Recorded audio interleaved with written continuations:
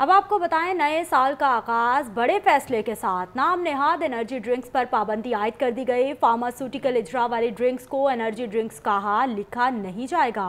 Report करेंगे Imran Malik.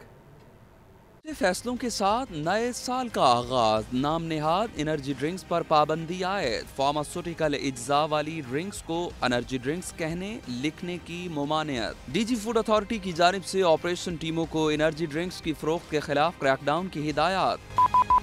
DG food authority captain retired Usman ने product पर लफ्ज एनर्जी न लिखने और लेबल पर वाजे तौर पर हाईली कैफिनेटेड ड्रिंक तहरीर करने की हिदायत भी जारी की। कानून पर पूरी न उतरने वाली प्रोडक्ट्स को मौका पर जाया कर दिया जाएगा। एनर्जी ड्रिंक्स में कैफीन की ज़्यादा मकदार ब्लड प्रेशर हड्डियों, दिल और जहनी तनाव जैसे अमराज का बायस बनती है। डीजी फ़ूड अथॉरिटी ने कहा कि एनर्जी ड्रिंक्स कंपनियों को कानून पर अमल दरामद के लिए आठ माह का बिज़नेस एडजस्टमेंट टाइम दिया गया। कैमरा टीम के हमरा, इमरान मलिक, लाहौर न्यूज़।